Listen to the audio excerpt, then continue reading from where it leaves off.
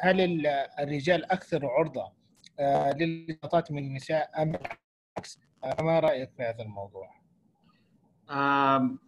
لا بالأصح السيدات للأسف هم أكثر عرضة للتجلطات مقارنة بالرجال آه، غالبا الموضوع هذا بيكون إلى سن الطمث بعدين النسبة بتتساوى ما بين الرجال والسيدات آه، غالبا بوجود هرمون الاستروجين والبروجسترون اللي هو موجود عند السيدات اولا برضو موضوع الحمل اللي بيحصل مع مع بعض السيدات.